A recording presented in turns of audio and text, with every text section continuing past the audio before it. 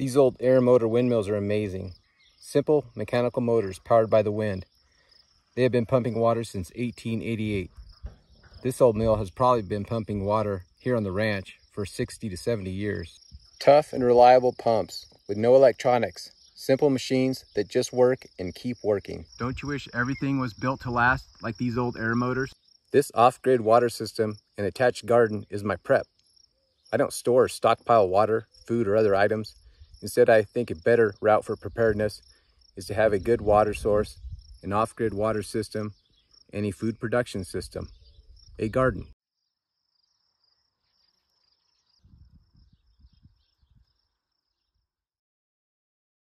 Am I a prepper? My dad calls preppers preppies. Yeah, I'm a prepper in my own way. I'm a preppy. I enjoy conveniences. I don't live off the grid or homestead, but I have seen how complicated and fragile global supply chains are, and I'm not a fan of our fiat currency that loses value every day. At the time of this video, summer 2024, inflation is out of control. Hard-earned dollars don't go very far at the grocery store. Most of this is completely out of our control. And that's not to mention natural disasters that can shut down society's modern conveniences in an instant. I think one of the biggest shocks our society could see is the loss of our electrical grid. This could be caused by man, or the sun could just have a bad day. It's happened before. Look up the Carrington event. A grid down situation could last for months or years.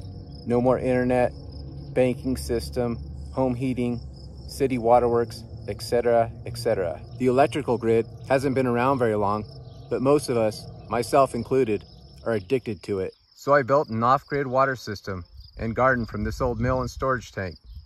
Wind and gravity. It doesn't get much simpler than that. But I couldn't help myself.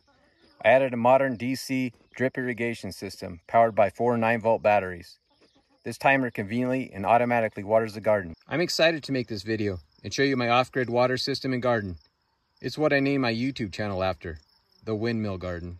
Fellow preppies, gardeners, off-gridders, homesteaders, and nerds, come check out The Windmill Garden. I hope it blows your socks off.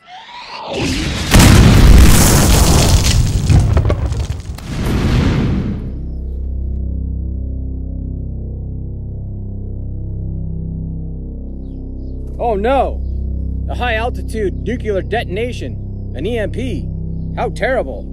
but how convenient for this video. Well, anyway, let me find my shoes and sock and we'll go check out the windmill garden. We'll start at the shallow well, then the pump, the windmill, move up to the storage tank, and then back down to the garden.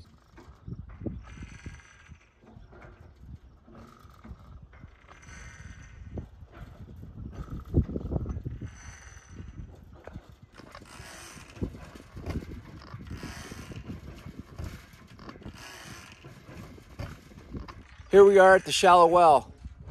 Let's open it up and take a look.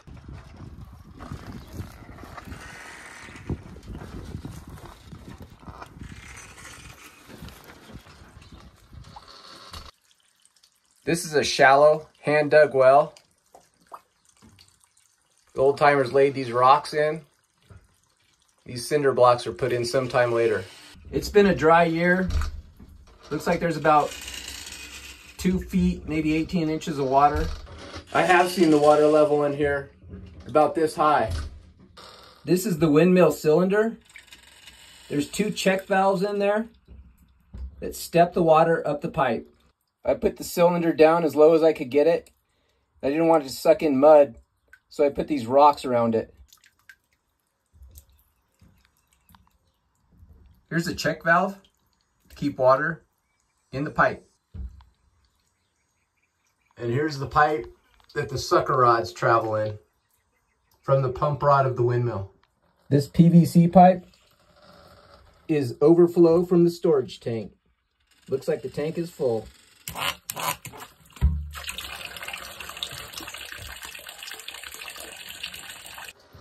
Looks like we have a couple friends over here. And that's all right. They're just garter snakes. We'll keep the mice out of here. Coming down here, I always get a Goonies vibe. All right, let's get out of here. We'll go check out the windmill.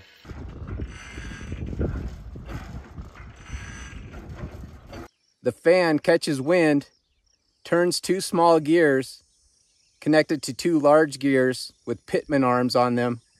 This raises and lowers the pump rod. This piece is called a stuffing box or a packer. This stuffing box is what makes it possible for the windmill to pump water uphill to the storage tank. There's a greasy rope inside this nut. It seals around this shaft, won't let the water out. It lets a little bit, it leaks a little bit, but not bad. Every now and then, you have to tighten up this packing nut. So that's the well and the windmill. That's our off-grid water source and our off-grid water pump. I have a short video where I open up the motor's gearbox, take the cover off and show the gears. I'm not gonna go up there today, it's just way too windy. Moving on from the well, water is being piped underground and our next stop is this filter pit.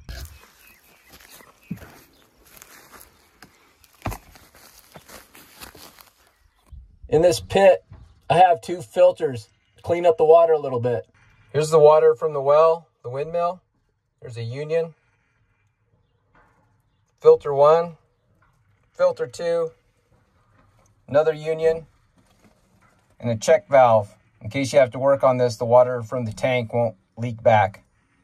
These are big blue 20 inch by 4 inch filters.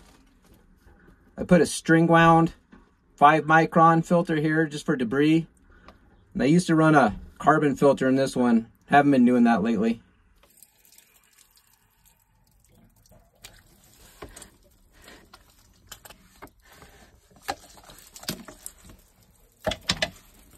Definitely time for a filter change.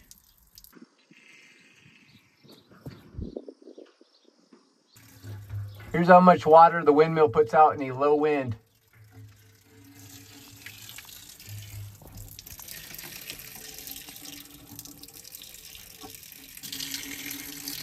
Can see the stroke of the windmill.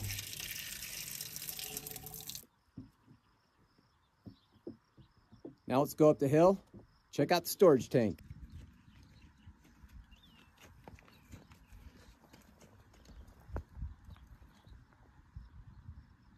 This old storage tank's about 30 feet in elevation higher than the garden. For every 10 feet of elevation, it's about 4.1 PSI. That gives me about 12 PSI water pressure down there. That's not a lot of water pressure, but it's enough to run the solenoid valves on the drip system. Let's lift that lid off and take a look inside the tank.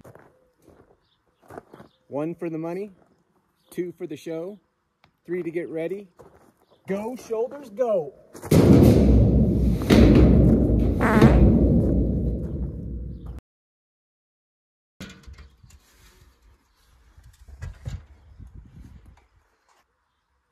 Under the water in this storage tank, you'll see three pipes. That tallest pipe is a water overflow back to the well.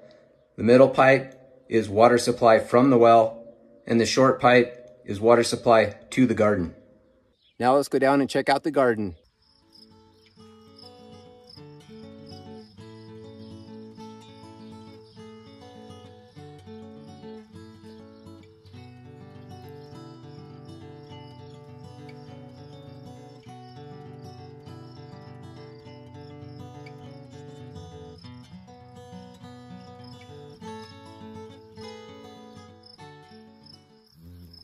Inside the garden fence now.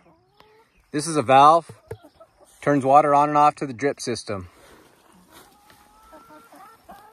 This valve turns water on and off to a hydrant. Here's a frost-free hydrant. This will still work after that EMP attack.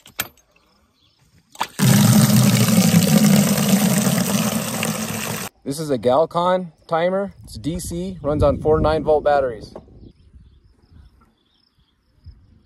This timer controls 12 valves. You can set the duration for irrigation time, what days you want to irrigate, and start and stop times. Each garden bed and some of the trees have their own valve. Valves are in those PVC standpipes. It's too bad that the EMP fried the computer and the electronics on the timer, but I can still use these valves. I can turn them on and off right here.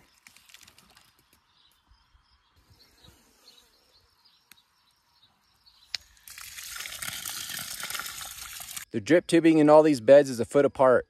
Let's dig down and see if we can find one.